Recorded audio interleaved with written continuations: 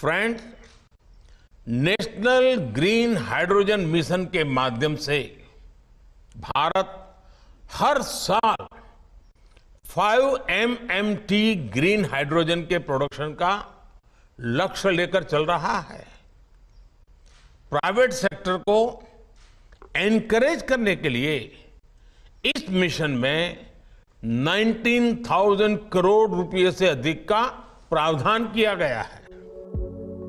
Modi government is big on schemes that incentivize the industry to manufacture things India needs. In line with India's zero emission plans by 2070, government is now planning a 17,000 crore incentive scheme for electrolyzers and green hydrogen production. In January this year, the Modi cabinet approved National Green Hydrogen Mission. And with that, an ambitious goal was set to become a global hub for production, utilization, and export of green hydrogen.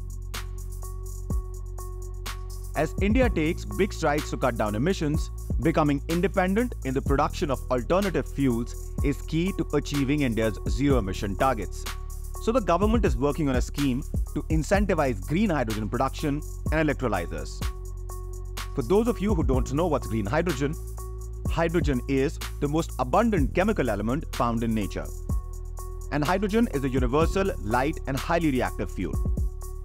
A clean source of energy, hydrogen only emits water vapor and leaves no residue in the air, unlike coal and oil. Although abundantly available, it needs to be extracted to be used as a fuel. One of the ways to obtain it is through a chemical process known as electrolysis.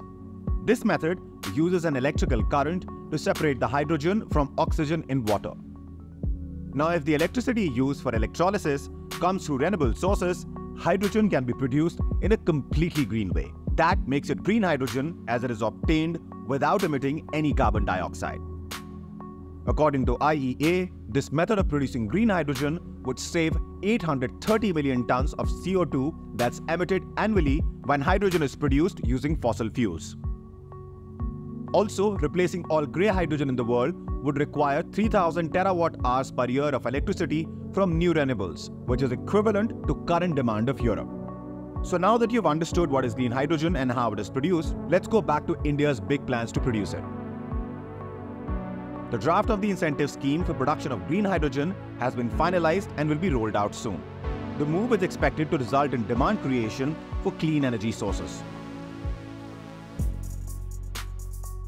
Currently, the government is already working with respective ministries to promote green hydrogen.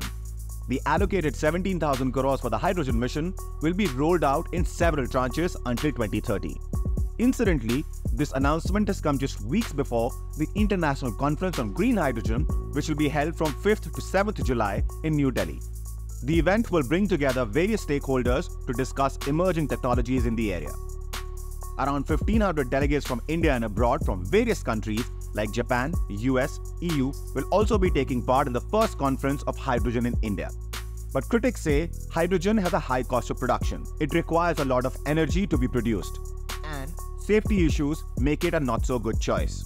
However, with advances in harnessing the full potential of hydrogen as a clean fuel made every day, these aren't problems which cannot be addressed in the future.